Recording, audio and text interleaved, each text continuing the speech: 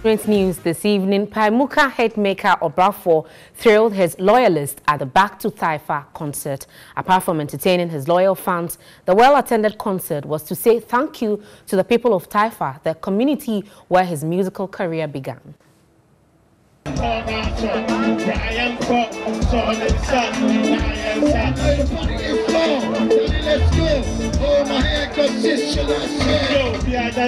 The streets of Taifa, a suburb in Accra, came to a standstill as thousands of fans came all out to witness rapper Obrafour live in action.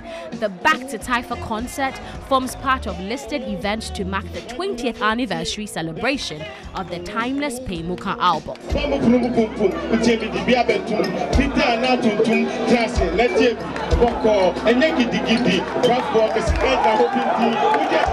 Back-to-back hits, the Ghana rap Sofo delighted his fans to a number of songs on the album, including Asem Sebe, Agronaso, and Yano.